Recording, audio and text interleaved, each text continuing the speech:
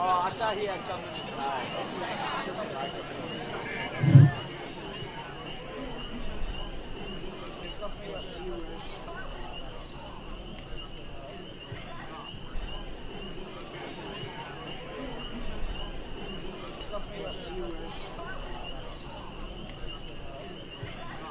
There's a race of men that don't fit in. A race that can't stay still. So they break the hearts of kith and kin and roam the world at will. They range the field, they roam the flood, they climb the mountain's crest. Theirs is the curse of the gypsy blood, and they don't know how to rest. If they just went straight, they might go far. They're strong, brave, and they're true. But They're always tired of the things that are. They want the strange and the new. They say, could I find my proper groove?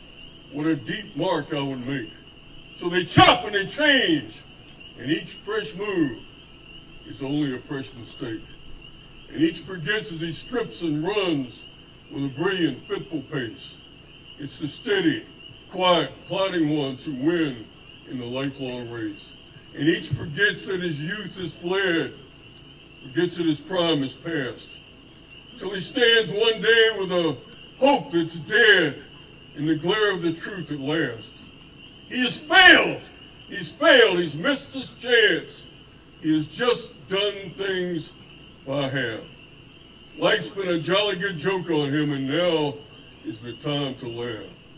He is one of a legion lost. He was never meant to win. He's a rolling stone, and it's bred in the bone. He's a man who won't fit in. I saw this place for the first time back in 1964. I remember I was 11 years old and I was a tenderfoot member out of Troop 50 in Roanoke, Virginia. I I remember it was the first time in my life that I'd really been thrown out into the wilderness without any adult supervision whatsoever for an extended period of time. I mean, we had a scoutmaster, but he was old and slow, and I was faster than some kind of a 13-legged reptile. I was also highly nocturnal. There's a pretty good chance if you looked at my cot at 2 o'clock in the morning, you would discover that I was out here in the lake catching bullfrogs with my teeth, or maybe standing on the roof of the dining hall, butt naked, and screaming at the moon. I was entirely insane and crazy. I was a new member of the Bat Patrol, and for some reason I was given the camp astronomy tent. This tent had so many holes in it that you could lay in your cot at night and look up and see all the major constellations and planets. Sputnik would come zipping by every once in a while. Bats and whippoorwills and bald eagles could fly in one side of the tent and fly completely to the other side and never touch a piece of canvas. It was kind of a miracle. This was nearly 60 years ago. I remember that every morning after breakfast, my scoutmaster would scream at me. He'd say, Hankins, go to your second class instruction area. It's up by the chapel. But instead, I'd stick a fishing rod down my britches and I'd run out through the woods and I would hike about five and a half miles up Max Creek. I'd spend the whole day fishing in those deep crystal pools way back in the woods, catching native trout. Most of them were about 10 inches long. But every once in a while, you'd hit one over a foot. Some of the most beautiful fish that God's ever put on the earth. I do remember catching rattlesnakes when I was that age. I was only 11. I had the brain of a gopher. I was entirely crazy. I used to catch rattlesnakes and I'd play with them. I'd give them names. But I knew better than to bring them back into camp because people would have thought I was crazy. Boys, I was crazy. I was completely out of my mind. I do remember that on the first day of camp, in the late afternoon, the scoutmaster came to me. He said, Hankins, we have given you gopher duty.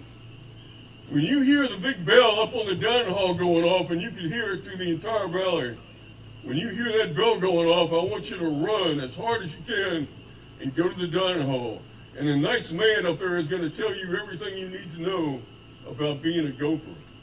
I was an idiot. I thought a gopher was a big amphibian that lived in the woods eating raisins all day. I had the brain of a grilled cheese sandwich. However, when I heard that bell going off, I ran at high speed up to the dining hall. I walked in the door and I found myself looking, I can still see him, at a 17 year old tyrant. He was a dictator. He was the living embodiment of Adolf Hitler. I've never seen anybody like this in my life. He didn't speak English. He spoke some kind of broken German. He had a little weird nose coming out. I mean, a little bit of, of a mustache coming out of his nose. Looked like a caterpillar had crawled up on his lip and died. He screamed. Everything he had to say was coming out at a high-pitched scream. It was horrifying. I couldn't understand a thing. Luckily, he did a lot of gestures with his arms. And he was pointing at a table over in the far side of the dining hall. You got to remember that 60 years ago, this was the dining hall up here on the hill where the trading post is now. Over in the corner of that dining hall was a big old table, four by eight, and it was covered up with plates and cups and bowls and something they called silverware. People, the silverware was red. I kid you not, it looked like it had just been dipped in fresh human blood. Red, nasty looking, because it had been washed for 20 years in manganese and iron water. Oh, it was terrifying. I was sitting there looking at it. Now, there was eight people at each table. And I had to figure out how many plates and cups and spoons and forks to put on that table. There was a lot of math involved. I was moving one spoon at a time. My methods made Adolf particularly aggravated. He came over and started screaming at me in a high-pitched voice in some kind of a pure German that nobody could understand. I got all my tables set up and everything was fine, and all of a sudden, one of the cooks stepped out of the kitchen. And he said, Come get your bird! Oh my God, they're going to make us eat little birds. This was terrifying. I didn't know what to do, but I ran into the kitchen. And there I found myself looking at a 13 foot tall man named Leon Harvey. This guy was the most frightening individual I've ever met in my life. He had butcher knives around his belt, had a pitchfork, and he had a small caliber handgun that he kept in his in the apron. He was ready for anything. Leon's job was to make sure that everybody got a fair amount of food. They handed out fried chicken, some kind of lima beans, and they gave us what they said was mashed potatoes. It sure didn't look or smell like my mama's mashed potatoes. But I knew better than to complain about it. Three kids had already been shot for complaining about the food. Don't worry, they weren't dead. They were just stacked up over by the dishwasher, kind of bleeding out a little bit. They would never walk normal for the rest of their life. I carried the food back to the table, and I put it right in the middle, and as I looked out to the left, I could see there was a vast crowd of humanity out there getting ready to come in. All of a sudden, some idiot walked up to the double doors and he screamed out, Come and get it! I've never seen so much running in my life. The rumor was if you didn't run, you didn't eat. So all these idiots came charging into the dining hall. We were standing there at our little tables, and a man on the far side of the building stood up and got everybody very quiet and he uttered a blessing. He said, Dear God, help us live through this meal. Amen. It was a non denominational blessing. Now, the boy next to me was responsible to make sure that everybody got a fair amount of food. He was supposed to load the plate and he'd pass it around, and that's how it worked. Eventually, I'd get some food. He did not understand that concept. He didn't know how that worked. Across from me, on the other side of the table, was a big old farm boy, probably weighed about 1,500 pounds. I can't remember his name. We just called him 1,500 pound kid.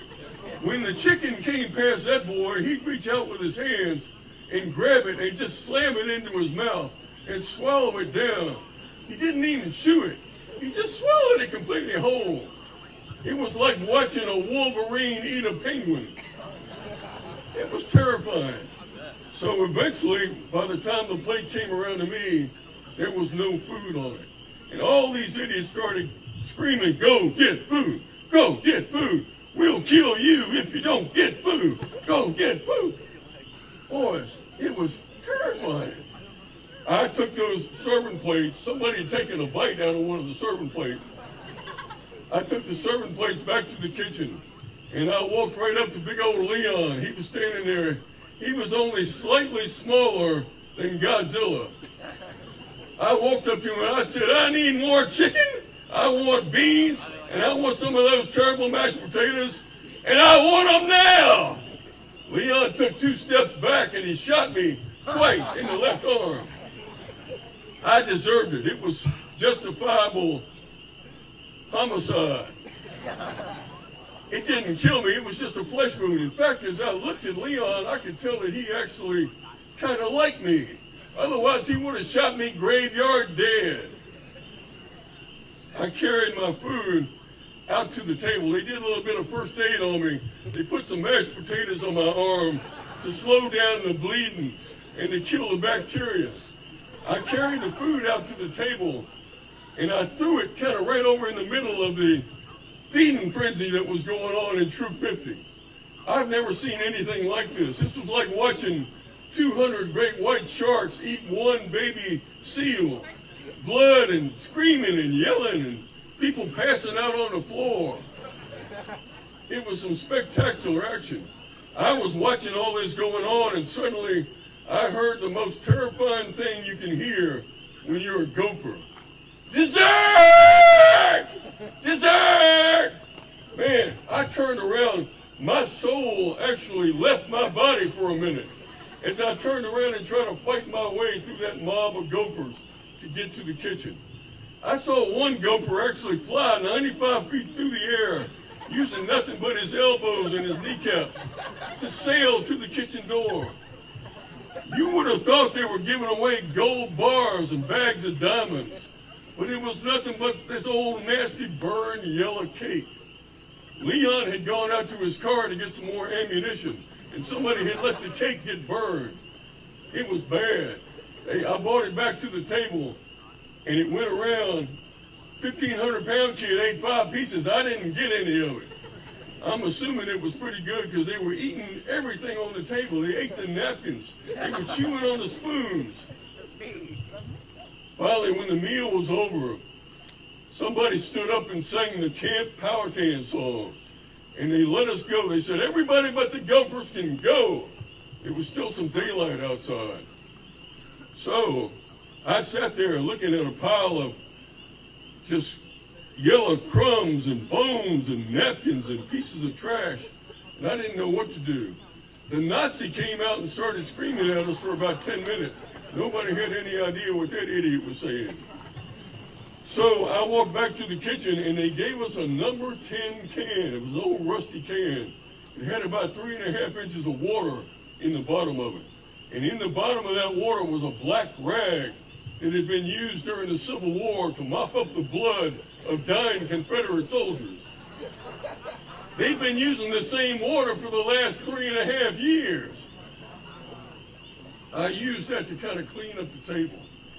If you had taken medical grade smallpox and Ebola and diphtheria and hydrophobia and put it in a little cup and drank it, it would have been safer than one drop of that Camp Powhatan cleaning fluid.